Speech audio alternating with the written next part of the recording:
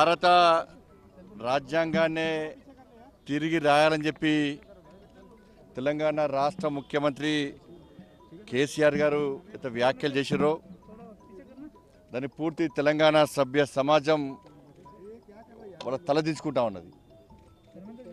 రాజకీయాలకు అతీతంగా సంఘాలకు అతీతంగా అందరూ కూడా ప్రతి ఒక్కరు కూడా స్పందించి కేసీఆర్ గారి యొక్క అహంకారపూరితమైన వ్యాఖ్యలను ఖండిస్తూ ఉన్నారు.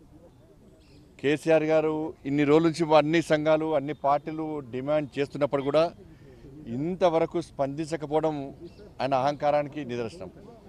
ఆయన స్పందించడం పక్క పెట్టండి. టీఆర్ఎస్ పార్టీ నాయకులు మంత్రులు ఎమ్మెల్యేలు బాగా కండ కావరం ఎక్కి వాళ్ళు వాగుతున్న విధానం చూసి తెలంగాణ సమాజం అంతా చీతు అంటున్న విషయాన్ని వాళ్ళు ఒక్కసారి గుర్తుంచుకోవాలి.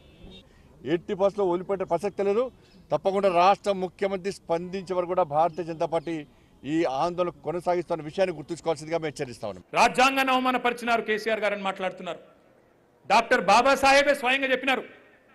నేను రచించిన రాజ్యాంగాన్ని పాలకులు గనక దుర్వినియోగం చేస్తే ఆ రాజ్యాంగాన్ని తగలబెట్టడంలో నేనే ముందుంటా అని బాబాసాహెబ్ అంబేద్కర్ స్వయంగా చెప్పినారు. రాజ్యాంగం రాసిన మూడేళ్ళ తర్వాత. ఆనాటి నుంచి ఈనాటి వరకు రాజ్యాంగాన్ని నూట ఐదు సార్లు కేంద్ర ప్రభుత్వాలు కాంగ్రెస్ కానీ తర్వాత బీజేపీ కానీ సవరించినాయి. అంటే అంబేద్కర్ గారిని అవమానించినాయా?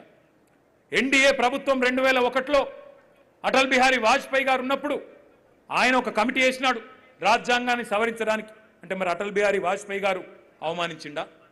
ఆర్ఎస్ఎస్ అధ్యక్షుడు మోహన్ భగవత్ గారు ఈ రాజ్యాంగం ముందు కొత్త రాజ్యాంగం రాజ్యాంగం కావాలన్నాడు. అంటే అవమానించిండు ఆయన కూడా అంబేద్కర్ గారిని?